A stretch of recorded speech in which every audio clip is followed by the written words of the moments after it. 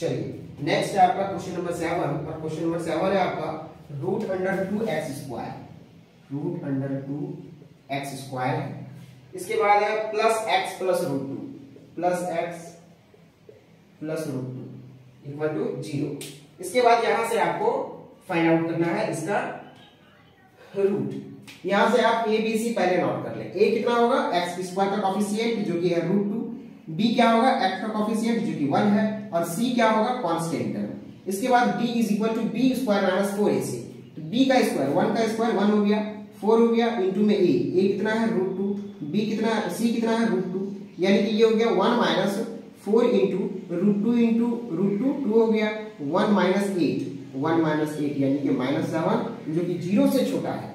अब minus seven ये zero से छोटा है ज़ीरो से छोटा है, यानी कि इसका रियल रूट नहीं निकलेगा इमेजनरी रूट निकलेगा।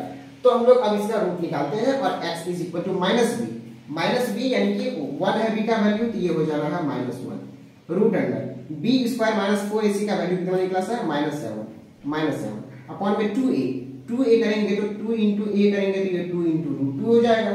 इसके बाद यहाँ से ये x का वैल्यू हो गया minus one plus minus root under seven iota by two root two two root two चूँकि रूट अंडर माइनस सेवन को हम लोग रूट अंडर सेवन आयोटा लिख सकते हैं तो यहाँ से ये हो गया एक्स का दो वैल्यू चलिए इसको नोट करें.